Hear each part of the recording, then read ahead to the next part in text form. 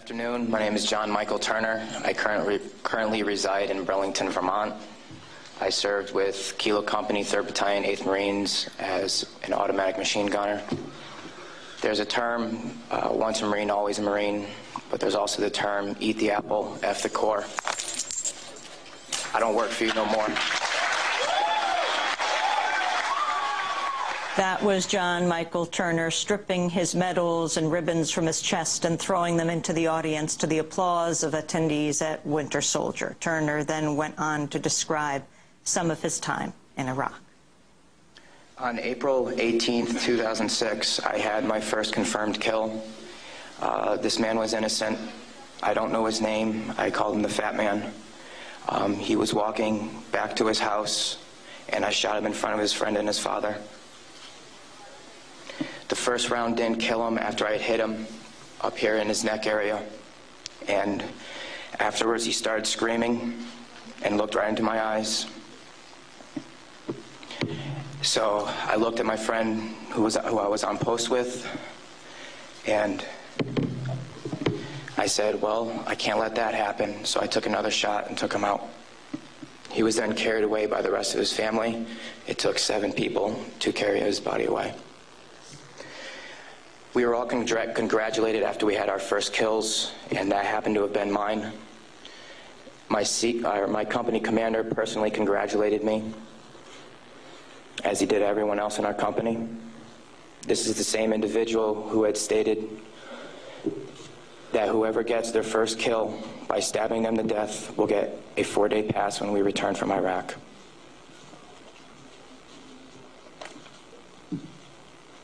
There was one incident where we got into a firefight just south of the government center, about 2,000 meters. We had no idea where the fire was coming from, and the way our rules of engagement were pinpoint where the fire is coming from and throw a rocket at it. So, with that being said, we still didn't know where the fire was coming from, and an 84 millimeter rocket was shot into a house. I do not know if there was anyone in it. We do not know if that's where the fire was coming from, but that's what was done. Please go to the next image.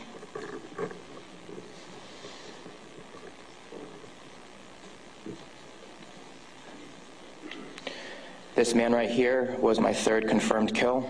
As you can see, he was riding his bicycle. This later on in the day, we went ahead and uh, we had CBS Lara Logan with us, but she was with the other squad. And so she wasn't with us. So myself and two other people went ahead and took out some individuals because we were excited about the firefight we had just gotten into and we didn't have a cameraman or woman with us. With that being said,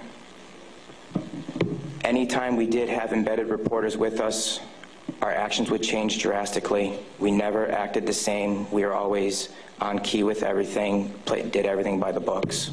The, the man on the bicycle, he was left in the street for about 10 minutes until we realized that we needed to leave where we were.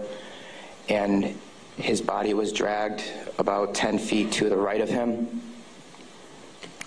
where his body was thrown behind a rock wall, and his bicycle was thrown on top of him.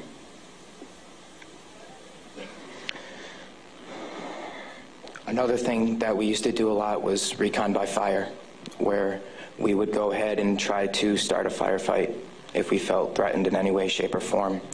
There's one particular incident where we were working with the Iraqi Army and the Iraqi Special Forces in downtown Ramadi, and with our squad and the Iraqi Army, there was also lieutenant colonels, majors, first sergeants, and sergeant majors. Sorry, sergeants major. With that being said, the Iraqi army would go into the house, kick in the doors, and then go ahead and shoot. And there were loud, loud, bursts of machine gun fire. We thought we were taking fire, but then we later found out that it was them.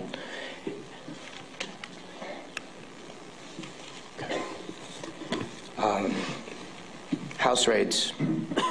Because we were a grunt battalion, we were responsible for going on several patrols. Uh, a lot of the raids and patrols we did were at the night, around 3 o'clock in the morning, around there. Um, and what we would do is just kick in the doors and terrorize the families. That was an image taken around 3 o'clock in the morning through night vision goggles. And that is uh, the segregation of the women and children and the men. Um, If, if the men of the household were giving us problems, we'd go ahead and take care of them any way we felt necessary, whether it be choking them or slamming their head against the walls. If you go back to that one picture, that was one man that wasn't taken, uh, that was taken care of in a very bad way. Because, because of all the, the wiring that he had, it would be considered IED making material. Um, on my wrist, there's Arabic for FU. I got that put on my wrist just two weeks before we went to Iraq because that was my choking hand. And anytime I felt the need to take out aggression, I would go ahead and use it. Please go to the next picture. Next. There's an instance of detainees and how they were treated in a nice manner. Next. That is the Fatimat Mosque minaret.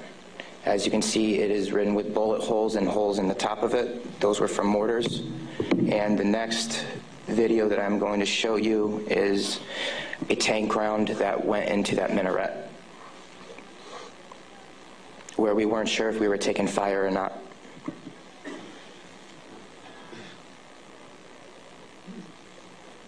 Um, um, I'll, actually, I'll talk about this one. This is um, after uh, one of one of the guys in uh, weapons company had gotten shot.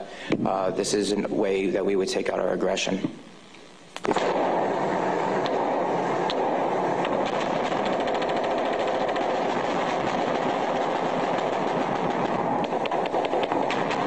those of you who don't know, it is illegal to shoot into a mosque unless you are taking fire from it.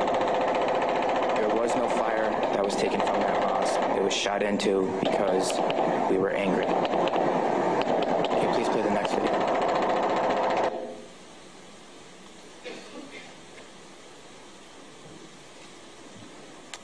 We are on ice cream, trying to suppress the blue and white minaret named Fatimat al-Zahra.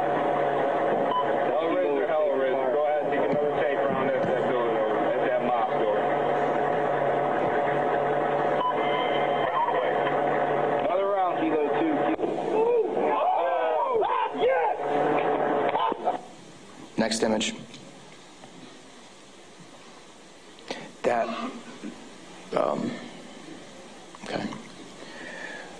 With that being said, um, there's many more stories and incidents for me to talk about, although we don't have the time to. But this just goes to show you that uh, that was the after effect of the, the tank round. This just goes to show you that everyone sitting up here has these stories, and there's been over a million troops that have gone in and out of Iraq. So the, end, uh, the possibilities are endless. Next image, please. The reason I am doing this today is not only for myself and for the rest of society to hear, but it's for all those who can't be here to talk about the things that we went through, talk about the things that we did. Next image.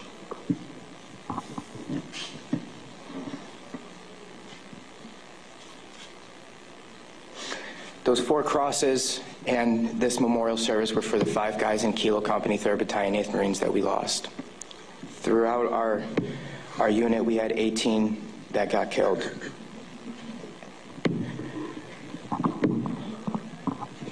With that being said, that is my testimony. I just want to say that I am sorry for the hate and destruction that I've inflicted on innocent people, and I'm sorry for the hate and destruction that others have inflicted on innocent people.